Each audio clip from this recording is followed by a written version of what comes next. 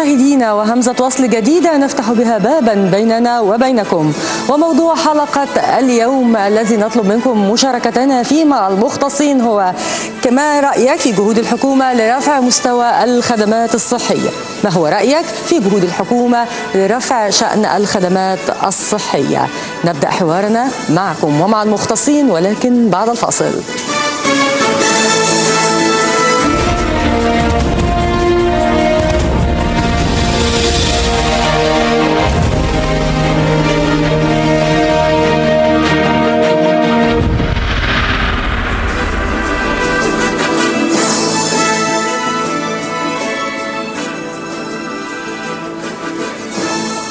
أهلا بكم مجددا. الرعاية الصحية حق لكل مواطن يكفله الدستور، والرعاية الصحية هي الطريق أو بداية الطريق بالأوضح لبناء المواطن أو الإنسان الحقيقي. لذا بتسعى الحكومة جاهدة لتحسين الخدمات الصحية. وكانت لها في الفترة الماضية مجموعة من الخطوات في هذا المضمار لتحسين الحياة الصحية وأيضا الخدمات الطبية المقدمة للمواطنين بشكل حقيقي. هذه الخطوات يمكن أن نلخصها في مجموعة من المشروعات أو مجموعة من الخطوات والمشروعات اتخذتها الحكومة بشكل حقيقي على الأرض. هنذكر منها مثلا تطوير عدد من المستشفيات الحكومية وكان منها مستشفى قصر العيني ومستشفيات القصر العيني ومستشفيات جامعة عين شمس. كان هناك أيضا مجموعة من القرارات. كان أهم هذه القرارات على الإطلاق هو قرار مجانية أول 48 ساعة لمريض الطوارئ بالمستشفيات الحكومية والخاصة. هناك أيضا كان قرار مهم جدا بيخص قطاع عريض جدا من المرضى وهو قرار الحكومة بطرح عقار سوفالدي من خلال وزارة الصحة لمرضى الكبد كبد على مستوى الجمهورية وهو القرار اللي خلق حالة من التفاؤل والأمل لدى قطاع عريض من مرضى الكبد في مصر وخاصة الفئات غير القادرة منهم. جاء أيضا افتتاح الرئيس السيسي للمرحله الثالثة من أعمال تطوير المجمع الطبي العالمي للقوات المسلحة بكوبري القبة واللي بيعد أكبر صرح طبي ومدينة متكاملة تخدم نحو مليون مواطن سنويا. وذلك لأنها بتضم ثماني مستشفيات و34 غرفة عمليات. نقدر نقول أن كل هذه الإجراءات تعد خطوة حقيقية نحو إصلاح مستوى الخدمات الصحية في مصر. خطوة في هذا الطريق الصعب والشاق ولكن كيف يرى المواطن والمتخصص عملية تحسين الخدمات الطبية في مصر وكيف يقيم جهود الحكومة لرفع مستوى الخدمات الصحية.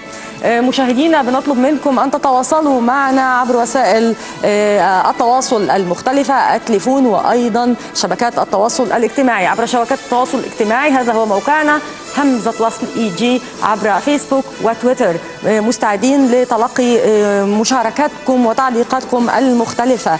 وأيضا مستعدون لتلقي اتصالاتكم التليفونية عبر الأرقام التالية 14 51 وأيضا خط آخر هو 09 ثلاثة أصفار تسعة أربعة واحد وخمسين. الأرقام مرة أخرى أربعة عشر واحد وخمسين. ورقم آخر هو صفر تسعة ثلاثة أصفار تسعة أربعة خمسة واحد. نحن في انتظاركم لمشاركتنا مع المختصين في هذا الحوار حول تحسين الخدمات الصحية في مصر. انتظرونا وننتظركم أيضا في المشاركة لكن عقب هذا التقرير.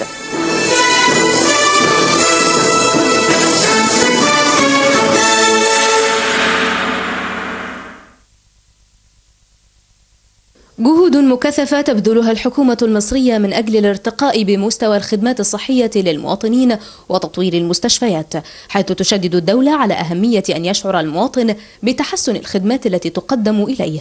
فعلى قدم وساق تقوم الحكومة حاليا بعمل جولات تفقدية بعدد من المستشفيات فضلا عن افتتاح عدد من المشروعات الخدمية الأخرى بالمحافظات والاستماع لشكاوى وطلبات المرضى والأطباء لتطوير تلك المنظومة الهامة. في غضون ذلك أعلنت أمانة المراكز الطبية المتخصصة التابعة لوزارة الصحة والسكان الانتهاء من تنفيذ أعمال التطوير التي قد بدأت تنفيذها بمستشفيات ومراكز الأمانة والبالغ عددها 41 مستشفى تغطي أنحاء الجمهورية. تزامنا افتتح الرئيس عبد الفتاح السيسي المرحلة الثالثة من أعمال التطوير والتحديث للمجمع الطبي للقوات المسلحة بكبر القبة. وقام الرئيس السيسي بتفقد المشروعات الجديدة التي تم تنفيذها خاصة مستشفى أمراض الكلى الجديد والذي يعد الأكبر في مصر والعالم العربي ومستشفى الجراحة الذي تم تطويره. وزير الصحة والسكان الدكتور عادل عدوي من جهته أعلن بدء تنفيذ خطة العمل للوقاية والرعاية والعلاج من الفيروسات الكبدية لافتا إلى أن الخطة سيتم تنفيذها تحت رعاية الرئيس عبد الفتاح السيسي وأنه أكد على توفير العلاج لجميع المرضى المصريين مع ضرورة وضع خريطة علاجية ورفع الوعي المجتمعي بالمرض. جدير بالذكر أن وزارة الصحة والسكان كانت قد وقعت اتفاقية تعاون مشتركة مع وزارة التعليم العالي لإطلاق مشروع القومي للتدريب والتعليم الطبي المستمر. الاتفاقية تهدف إلى تنمية المهارات والقدرات المعرفية للأطباء وأعضاء الفريق الصحي فضلا عن تفعيل دور كلية الطب في تنمية المجتمع في المجال الطبي والبحثي وإلى رفع مستوى الخدمة الصحية المقدمة للمواطن المصري.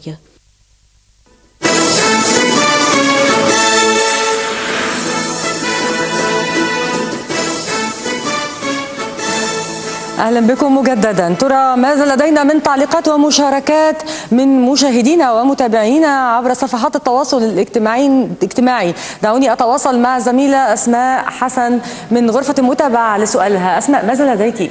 نعم ماجدة بالفعل وردت إلينا تعليقات ومشاركات كثيرة خلال موضوع حلقة اليوم. أغلب هذه التعليقات حملت عدم رضا بشأن مستوى الخدمة المقدمة للمواطنين في المستشفيات المختلفة والبعض يطالب المؤسسات المختلفة والمسؤولين بتقديم خدمة طبية مختلفة في صعيد مصر.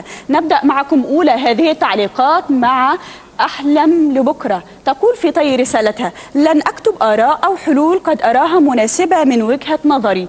المتواضعة للمشكلات التي تعاني منها مصر.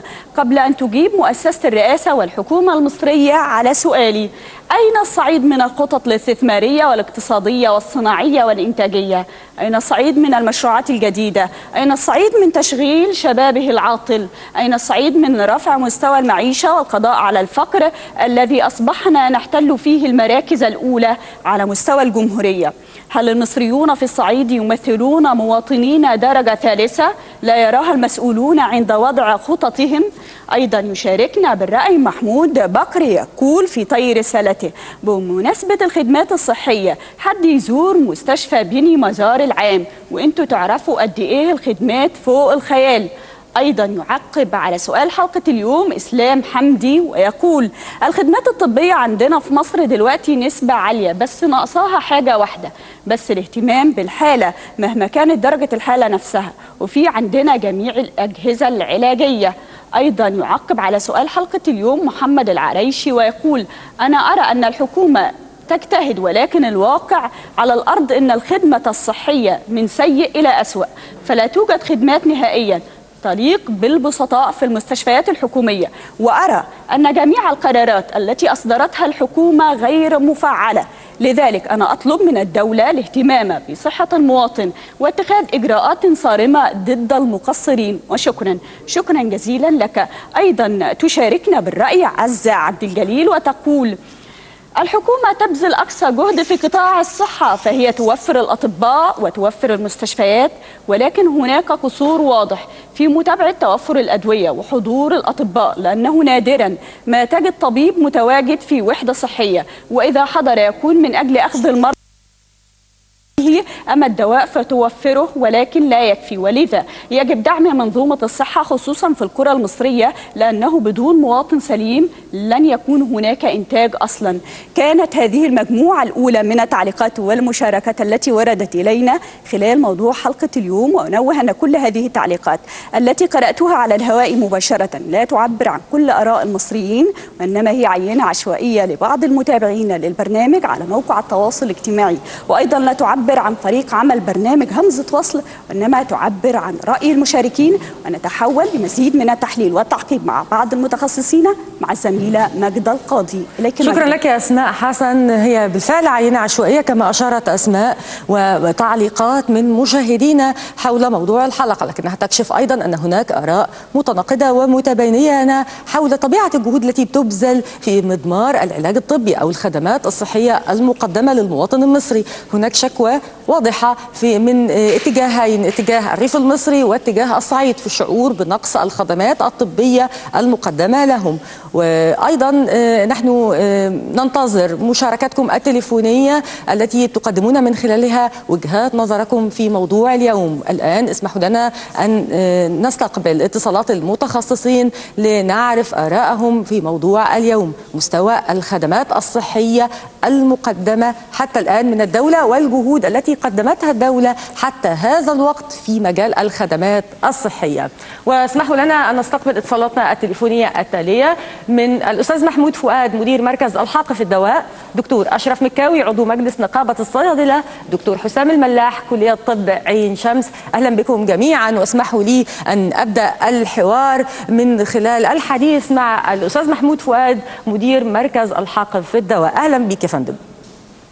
أهلا بحضرتك مساء الخير. أهلا مساء النور. أستاذ محمود ما هو رأيك في حجم ما هو مقدم من في مجال الخدمات الطبية سواء من خلال البنية التحتية وإعدادها أو سواء الاهتمام من قبل العاملين في مؤسسات الصحية المصرية؟ تمام بشكر حضرتك. يعني خلينا نتكلم مبدأ الرعاية الصحية في مصر. بيعاني تراكمات طويلة السنين اللي فاتت. عشان نبدأ بداية صحيحة فعلا وعشان نوصل لفكرة إن في حق في الصحة متوافر أو متاح في المكان وفي الزمان يجب إن إحنا نقول نمرة واحد هو زيادة ميزانية وزارة الصحة. غير كده ما أقدرش أقول لحضرتك يعني الدرجة بتاعت الرعايه الصحية إحنا دلوقتي ممكن نتكلم على درجة متوسطة لكن إن يبقى عندي ميزانية تشغل 7% إن أنا في خلال 10 سنين أروح خلال خمس سنين أروح 12% هنا أقدر أقول إن عندي رعاية صحية متكاملة. في تقرير للبنك الدولي بيقول إن 72% من إجمالي ما ينفقه المصريين على الصحة ده بيجي من جيوبهم. بمعنى إن المواطن بيصرف التلتين والحكومة بتصرف التلت. عندي بيئة فعلا موجودة عندي مستشفيات ولكن هي خاوية على عروشها في الآخر. بخش المستشفيات دي ما بتلاقيش أدوية مثلا زي أدوية الطوارئ. تلاقي الطبيب عنده مشاكل حقيقية فعلا ميمة الأجر ميمة التدريب آه طواقم التمريض نفس القصة نعم. تفتقد لما... لفكرة معايير الجودة داخل المستشفيات المهم إن إحنا نبدأ وأفتكر ده حصل فعلا بإقرار الدستور المصري من شهور إن بدأ فعلا نحس إن في ميزانية لوزارة الصحة يعني نقدر نبدأ فيها. 3% ده حاجة كويسة كانتش متوفرة قبل كده. نعم. نتمنى طبعا إن إحنا ال ال ال الحصة تزيد عشان نقدر نواكب التغيرات العالمية اللي بتبقى موجودة. عظيم.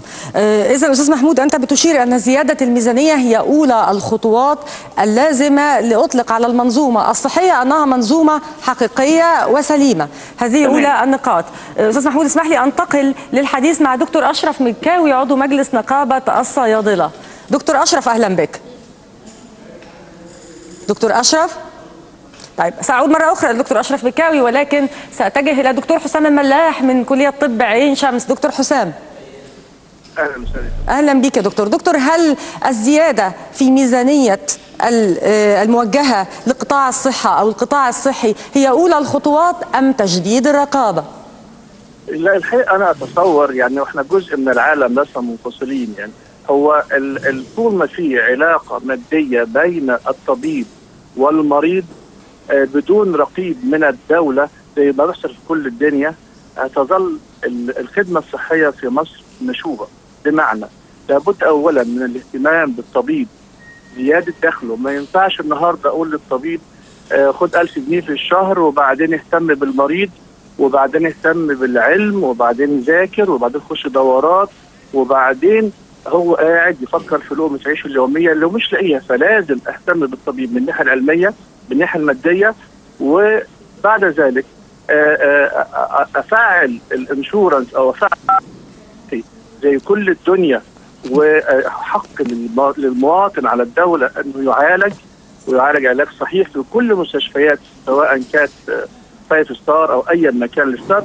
لكن طول ما العلاقة ما فيش فيها controlling ما فيش فيها آه، آه، دولة دكتور حسام يعني. دكتور حسام ملاح ماذا تقصد بعملية آه، إحكام الص- القبض أو السيطرة على فكرة آه، آه، علاقة الطبيب بالمريض ماذا تريد أن طيب. يوفر للطبيب بشكل حقيقي حتى تكون علاقته بالمريض خالية من الهدف المادي لابد أن نوفر للمريض آه، حياة كريمة مرتب جيد جدا آه، دورات تدريبية امتحانات دورية ما ينفعش النهارده أقول للطبيب أنت طبيب ما حييت في هذا المكان. لا ما فيش حد بيعمل كده في الدنيا كلها. نعم. لا الطبيب ده لازم يتعرض لتريننج كورس يتعرض لامتحانات. بس at first لازم من الأول إن أنا أرضيه ماديا اولا.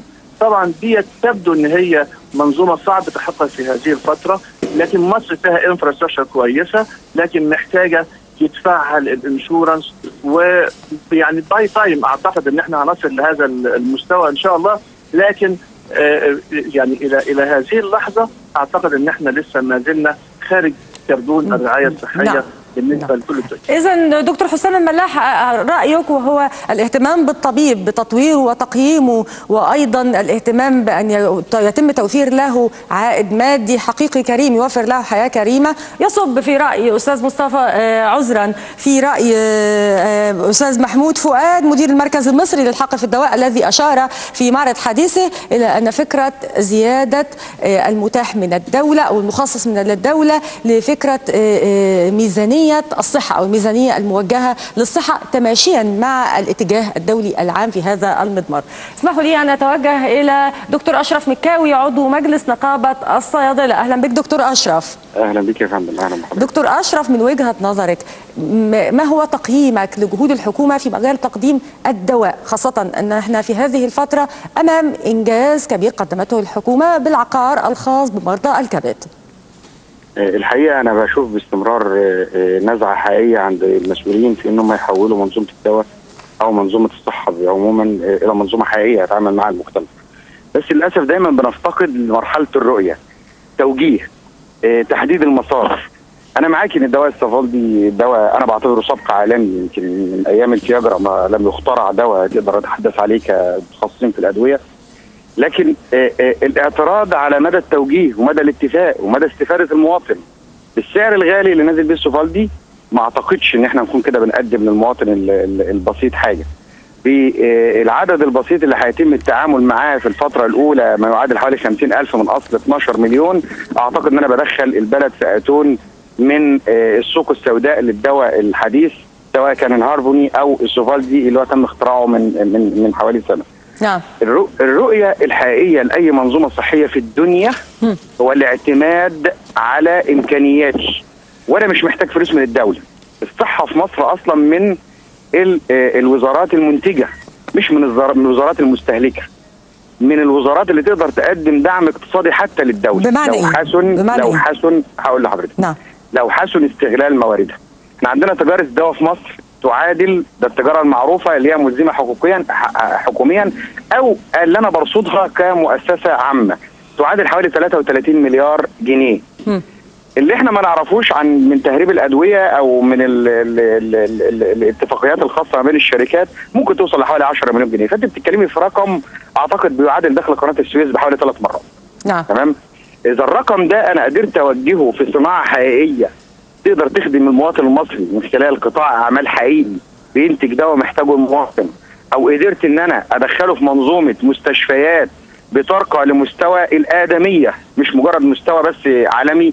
يكفي إن أنا ألاقي مستشفى ترقى بمستوى الآدمية ببني آدم داخل يتعامل معاها أقدر أغير من شكل الصحة في مصر يعني عموما. آه، دكتور أشرف مكاوي أنت تشير إلى أن قطاع الدواء يمكن الاستفادة منه في تمويل قطاع الصحة بشكل حقيقي.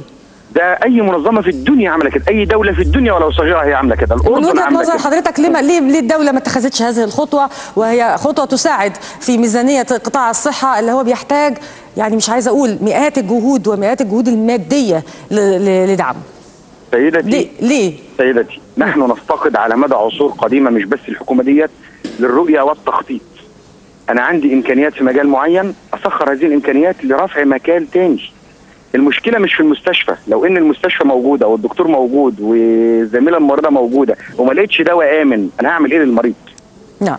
نعم. آه، لو أنا لو أنا عندي الدكتور اللي مش بيتقاضى أجر محترم يليق بيه ويليق بمكانته العلمية اللي دخل على أعلى مجموع في الدنيا نعم دكتور أشرف هذا ما إيه؟ أشرنا إليه فعليا في معرض آه. حديثنا وأنت أضفت تمام. إلي بالفعل أن أيضا قطاع الدواء يحتاج إلى التفاته حقيقية من الحكومة لإحكام رقابتها عليها مثلها مثل عملية الاهتمام بالتمويل المادي للقطاع الصحي مثلها مثل الاهتمام بالطبيب كجزء من هذه المنظومة اسمحوا إلي أن أتوجه إلى المواطن ومعي الأستاذ مصطفى عبد المجيد من الزقازيق أهلا بك أستاذ مصطفى. أهلا بحضرتك كل سنة وأنتم طيبين. وحضرتك طيب. أنت تعلم موضوع الحلقة وبالتأكيد تتابعنا.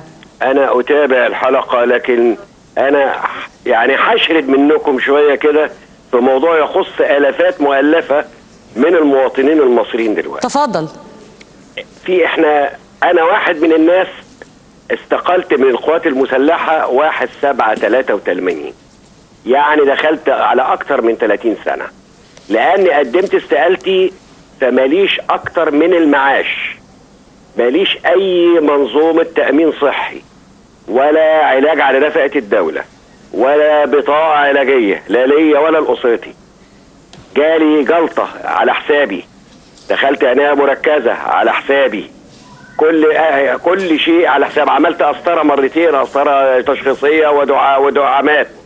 لولا إن آخر مرة جمعية الأورمان تدخلت معايا كنت هجيب منين؟ عندي أولادي ربيت وجوزت وكلفت. النهارده أنا النهارده داخل على 65 سنة. مين يصرف عليا؟ مين يعالجني؟ نعم نعم وصلت. صدقنا بقى قلنا إن الرئيس السيسي جه وهو راجل أساسا قوات مسلحة. نعم. يشوف لنا حل مع وزير الصحة نعم. لآلاف مؤلفة من اللي زينا خارجين استقالات ما لهمش بطاقة علاجية. أستاذ مصطفى في الحقيقة أن منظومة التأمين الصحي بأكملها بحاجة لنظرة شاملة حقيقية وبالطبع شفاك الله وعافاك.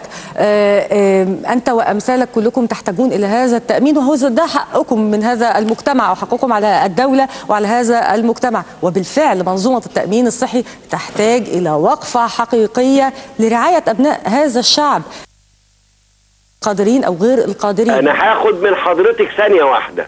جميع المواطنين في في جمهورية مصر العربية حتى الطفل المولود معاه بطاقه تامين صحي نعم.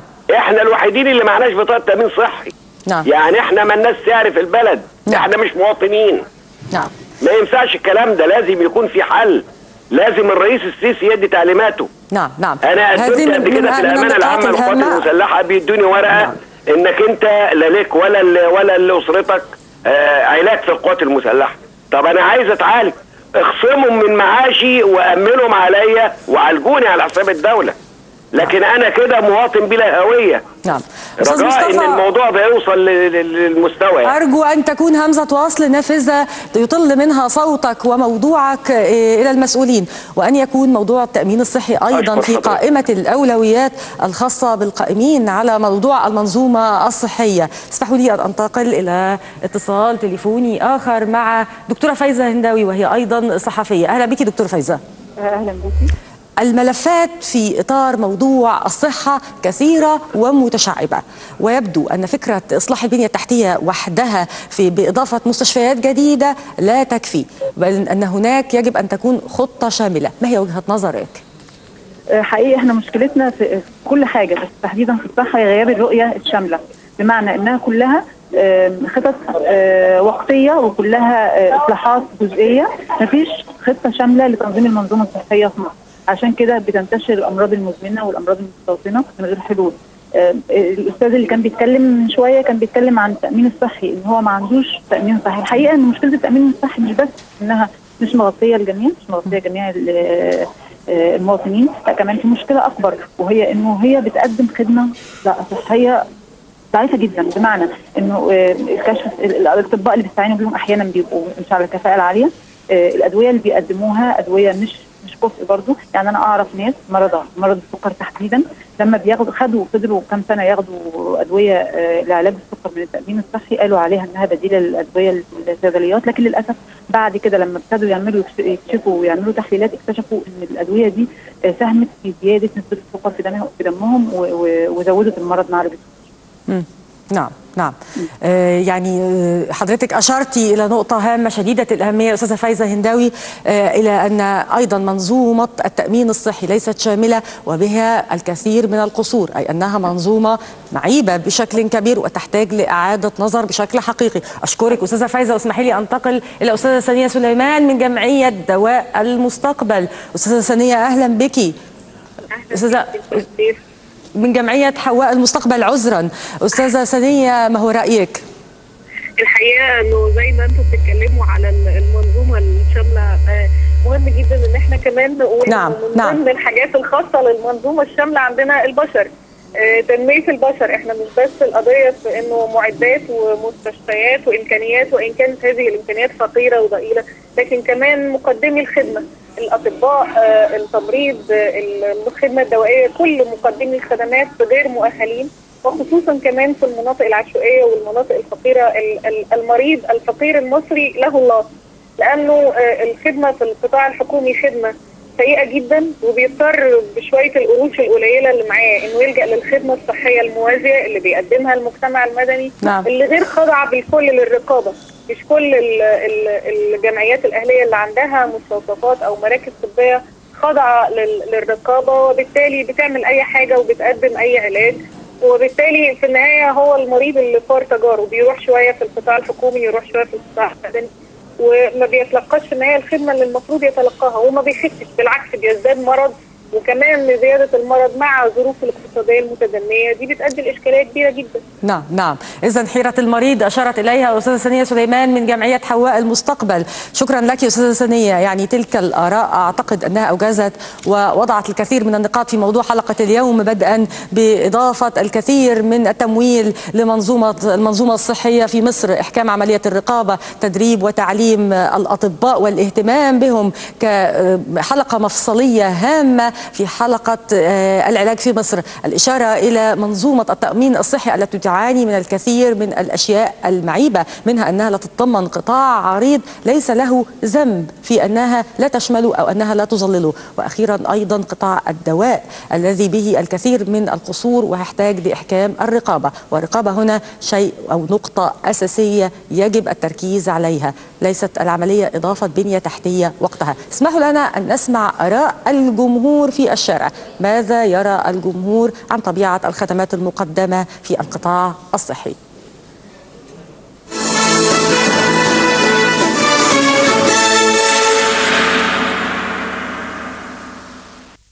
الخدمة الصحية ديت إحنا مش شايفينها بصراحة يعني. ولو إحنا مثلا شايفين الحكومة إنها تشتغل وهتعمل لنا حاجة إحنا مش شايفين حاجة بصراحة. إحنا معانا ناس تعبانة تعبانة تعبانة. المفروض وزير الصحة يهتم ب- بالمستشفيات ويهتم بال- بظروف المستشفيات ويرفع مستوى ال- الأعلى للمستشفيات.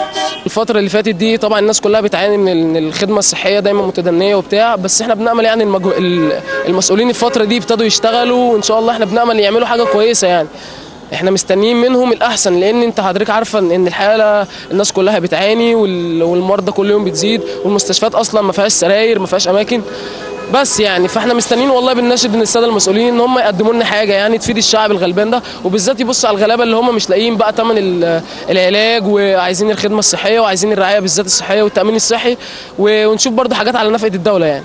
في ناس يعني إيه للأسف ضد الحكومة. فلو ظهر حاجة زي كده ممكن يعني إيه يظهر ال ال ال ال الرد السلبي بتاعهم ما بيقولوش إن الحكومة يعني ما بيشكروش في الحكومة بمعنى أصح يعني. ما بيقولوش إن في حاجات بتتم والحكومة بتساعد على رفع المستوى المعيشي والمستوى الصحي والمستوى التعليمي. ففي ناس ما بتشكرش في الحاجات دي ولا بتعترف بيها أساسا يعني. لسه الحكومة مطلوب منها كتير لرفع المستوى الصحي للمواطن لأن المواطن يعني ده حاجة ثروة بشرية موجودة كتير. فلازم في مجهود كبير قوي للحكومة تبذله لرفع المستوى الصحي. تمام؟ فلسه لغاية دلوقتي ما شفناش حاجة يعني.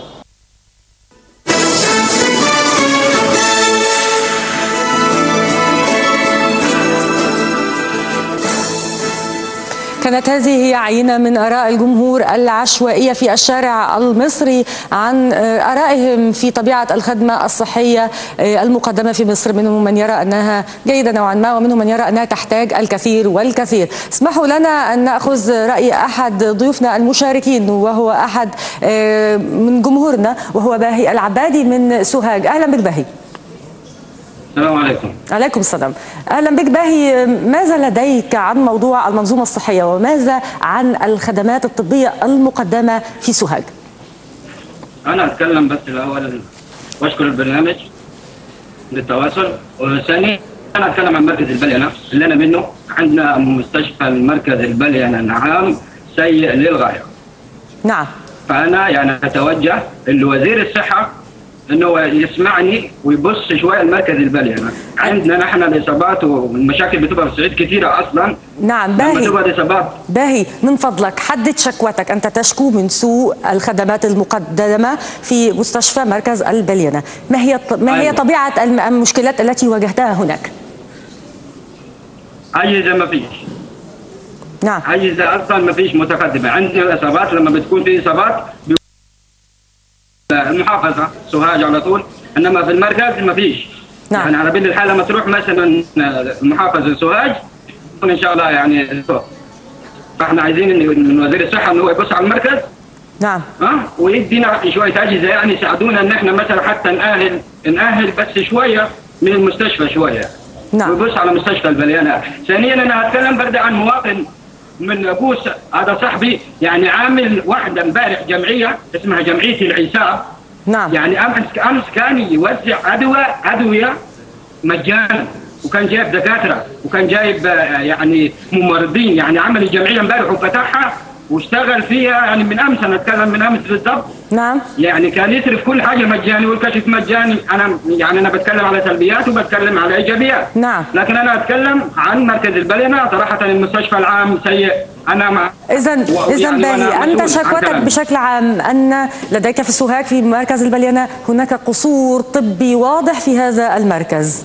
مركز البليانة وفي المستشفى العام. أشكرك. شكرا لك على هذه المشاركة. أشكرك وأشكر إيجابيتك في التواصل وأنك تحاول أن توصل صوتك إلينا وإلى المسؤولين. اسمحوا لنا أن نتلقى أيضا بعد آرائكم عبر آه، شبكات التواصل الاجتماعي المختلفة وهي تويتر وفيسبوك. وأدعوكم مرة أخرى للتواصل عبر التليفونات التي أعلنا عنها في بداية الحلقة. والآن اسمحوا لنا أنتقل إلى أسماء حسن. ماذا لديك جديد يا أسماء؟ آه، نعم بالفعل ما زالت التعليقات ترد إلينا حتى هذه اللحظات والتي تعكس اهتمام المواطنين بالموضوع المطروح خلال اليوم. ونبدأ معكم أولى هذه التعليقات.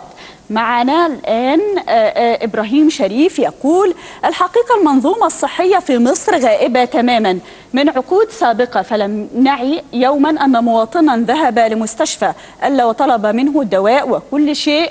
ثم في الآخر البقاء لله. وإذا كان كلامي خطأ فليذهب وزير الصحة بنفسه لأي مستشفى حكومي في أي مدينة أو قرية فلن يجد الأطباء. وإن وجد الأطباء فلن يجد مستلزمات العلاج لأنه لا تتم توفيرها إلا عن طريق أهل المريض ونصيحة مني لكل مسؤول في مصر لو أردتم أن ننهض بمصر من كبوتها فلنهتم بالصحة والتعليم. وأشكر أسرة البرنامج المحترم على طرحه للموضوعات الهامة. شكرا جزيلا لك. يشاركنا أيضا بالرأي. عويضة يقول في الحقيقة نحن نرى تحرك جاد لحكومة المهندس إبراهيم محلب لمع... لمعالجة مشاكل المواطنين ولكن بالنسبة للرقابة من مؤسسة الضمير غائبة تماما. بمعنى أن الخدمات الصحية في بلادنا شبه معدومة تماما. مع الأسف الشديد أن هذه المهنة هي مهنة إنسانية وأخلاقية قبل أن تكون مهنة لكسب الأموال. ومع ذلك نجد الخدمات فيها بالمقارنة مع الدول التي نعيش فيها الآن تعادل صفر على الشمال. ويجب على الحكومة عمل زيارات ميدانية مفاجئة للمستشفيات لكي يروا بأنفسهم المعاناة التي تواجه المواطن في المستشفيات الحكومية والوحدات الصحية والطبية. كانت هذه المجموعة الثانية من التعليقات والمشاركات التي وردت إلينا خلال موضوع حلقة اليوم وعودة مرة أخرى إلى الزميلة مجدة القاضي لمزيد من التعقيب مع بعض المتخصصين. شكرا. لك يا أسماء حسن على هذه المتابعة واسمحوا لنا نعود مرة أخرى نتلقى اتصالاتنا التليفونية. وحتى الآن معظم مشاركينا أكدوا على فكرة الرقابة التمويل الحقيقي للمنظومة الصحية وأيضا فكرة الاهتمام بمنظومة الدواء والرقابة عليها بشكل حقيقي. اسمحوا لي أن أستقبل المزيد من الاتصالات التليفونية من الجمهور والمتخصصين واسمحوا لي أن أبدأ مع دكتور أمين مصلح وكيل مستشفى أسيم المركزي. أهلا بك دكتور أمين. أهلا بيك يا دكتور أمين هناك شكوى سواء من الصعيد أو من الريف المصري في دلتاه من أن الخدمات الصحية تتناقص بشكل كبير كلما ابتعدنا عن العاصمة، ما رأيك؟ طبعا يمكن أنا سعيد جدا من على كل. تقريبا آه، الجمهور والناس اللي اتصلوا كلهم لخصوا الصورة الصورة نعم. الحقيقية والواقعيه للخدمة الطبية. أتفق معك. المشكلة المشكلة في حاجة يمكن أنا أسأل حضرتك سؤال بسيط. وحضرتك لو في 11 لعيب في الملعب وكل واحد مهما بذل مجهود لوحده وبلعب فردي هيدوا نتيجة في الآخر؟ بالتأكيد طبعا لا, لا ونفس الطريقة لو جبنا أحسن عازف العالم بدون مايسترو الفكرة إن كل منظومة لوحدها الجامعة بتقدم خدمة رائعة. التامين الصحي بيحاول لوحده. المستشفيات اللي هي خاصة بالهيئات زي الكهرباء وزي آه، المط- الطيران وغيرها بتقدم خدمة رائعة. آه، لكن كل حاجة بتعزف لوحدها. المريض المصري مواطن ما يهموش كل كل ده. يهمه ياخد خدمة. المريض أنا داي- دايما بقول حاجة إن المريض المصري آه، آه، دم ص- صحته أو دم آه، دمه تايه ما بين كل هذه المؤسسات. الفكرة فكرة طول ما المنظومه مش موحدة مش هنوصل لخدمة. فكرة الدعم المادي اللي نزود مهما زودنا الميزانية في ظل هذه التفرقة في المنظومة أو آه، عدم توحد المنظومة مش هنوصل. ليه؟ لأن المريض اللي يكلم حضرتك بتاع الجيش. طلع من الجيش ساب تأمين الجيش. المفروض انه لما طلع بقى مواطن مصري المفروض إن هم حاطينه في المواطن يتعالج مجاني. يتعالج مجاني فين؟ طبعا هو مش عارف يروح فين. بيضطر يلجا في الآخر للعلاج الخاص اللي هو برضه طبيب مصري ومستشفى مصرية. فهي الفكرة إن قبل ما أفكر في تحسين المنظومة لازم أوحد المنظومة. ثم التحسين يا ترى هو تحسين هيكل مستشفى ولا تحسين تحسين أجهزة ولا تحسين أداء؟ نعم. تحسين دلوقتي أحيانا الحكومة آه، لأن السياسي أنا دايما بقول كده السياسيين للأسف بعاد قوي عن الفكر الطبي الواقعي يعني هم في شعارات مثلا هتلاقي السيد الوزير بيقول إيه عندنا في الصحة أنا هنظف واجهات المستشفيات تفرق إيه مع المريض بي- في قرار الأسبوع ده بيقول إن أنا هطلع قرار في خلال أيام المستشفيات خالية من التدخين دي ما تفرقش نعم. مع المريض. نعم. المريض محتاج خدمة موحدة إن أنا أبدأ أقعد كده كسياسيين كمسؤولين إن أنا إزاي أوحد. خدمتي آه دكتور أمين أنت تتحدث بوضوح أن العملية ال- الصحية في مصر تحتاج لخطة حقيقية شاملة إصلاحية تتضمن في. مظلتها تتضمن في مظلتها كل شؤون التعليم آه، عفوا كل شؤون الطب آه، إصلاح حال الطبيب وإصلاح حال الدواء وإحكام الرقابة عليه وأيضا آه، تمويل حقيقي للمستشفيات وإحكام رقابه عليها كل المناحي بمعنى أنا اصح طب سؤال حضرتك تاني أخير. هو حضرتك دلوقتي تعرف حضرتك مستشفيات الحكومة تساوي قد إيه من المستشفيات اللي موجودة في البلد؟ نسبة قليلة جدا. يعني إحنا مستشفيات حكومية لا نتعدى ما بين 300 400 مستشفى. في نفس الوقت عندك المستشفيات الثانية اللي بتقدم الخدمة ضعف أضعاف. إحنا في وزارة الصحة اللي متسجلين أطباء 60000 من قولي مثلا من نص مليون طبيب يعمل. اذا اللي بيقدموا الخدمة 60000 طبيب في وزارة الصحة كل الكلام عليهم مع إنهم اللي بيقدموا الخدمة الحقيقية اللي ممكن ما يقعدوش 20 السواد 30 ألف. الأعظم خارج وزارة الصحة. خارج نعم، بالظبط. نعم. حضرتك. ولهذا إحنا. إحنا أنا بتفق معاك ك... ك... يعني كمواطن مصري أن المنظومه الصحية تحتاج لنظرة شاملة حقيقية. ودكتور أمين أنا بشكرك على وجهة النظر هذه واسمح لي انتقل لاحد المواطنين اللي بيشاركوا معنا وهو أستاذ حسن فرغلي أهلا بك أستاذ حسن. أستاذ حسن؟ السلام عليكم. عليكم السلام. طيب. تفضل. هو إحنا بنقولوا حاجة إن المنظومة الصحية بتاعتنا في مصر الكل اتكلم عن مشاكل شخصية لكن إحنا لازم ننظر, لها بنظرة شاملة. ال- المنظومة دهيت بتبقى في علاقة ثابتة ما بين الحكومة والمواطن نفسه. نعم. إحنا عندي سوء استخدام من الحكومة لل- للمنشآت الموجودة واللي هي أصلا اتأسست في وقت كانت الصحة فيه علم. يعني التأمين الصحي في اسكندرية في فترة من الفترات كان علم على كل إدارات الصحة في مصر. وفوجئنا إن هو بدأ يفتقد القدرة بتاعته على العلاج حبة حبة والسبب إن بدأت الرقابة ترفع عنه وبدأ يتحط تحت عيون ناس تستفيد منه ما تضيفش إليه. أستاذ حسن فرغلي من الإسكندرية بيلفت نظرنا مرة أخرى لفكرة إحكام الرقابة حول المنشآت الطبية وعمليات إدارتها. ماذا لدى أستاذ أحمد محمد من شبرا من وجهة نظر. تفضل أستاذ أحمد. السلام عليكم. عليكم السلام. والله حضرتك بتتكلمي في موضوع مهم جدا يهم جميع قطاعات الشعب المصري. وأنا يعني عارف ليا رأي ووجهة نظر أتمنى إنها تسجل عندكم وتدون تفضل يا فندم. أولاً الدولة اولا مش كل حاجة إحنا هنحملها للدولة. إحنا كشعب يجب إن إحنا نساهم مع الدولة في المنظومه الصحية. وأنا بقترح إن كل مواطن يدفع كل شهر 10 جنيه. وده مش مبلغ رمزي. يعني مبلغ رمزي 10 جنيه يبقى له وثيقة صحية على مستوى السنين كلها. بحيث إن هو يدفع 10 جنيه كل شهر لعلاجه وإن هو يكون موجود العلاج موجود بتاعه في جميع المجالات.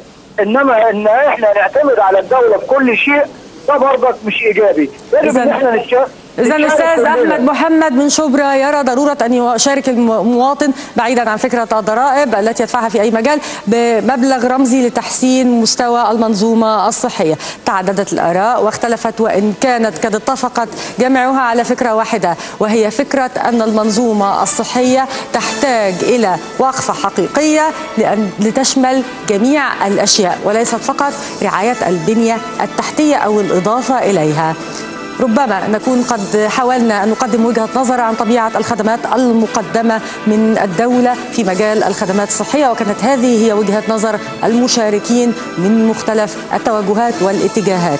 اسمحوا لنا أن نطرح عليكم سؤال حلقة الغد وهي كيف ترى تجربة العدادات الكهربائية المدفوعة مسبقا؟ السؤال مرة أخرى كيف ترى تجربة العدادات الكهربائية المدفوعة مسبقا؟ شكرا لكم وإلى همزة وصل جديدة.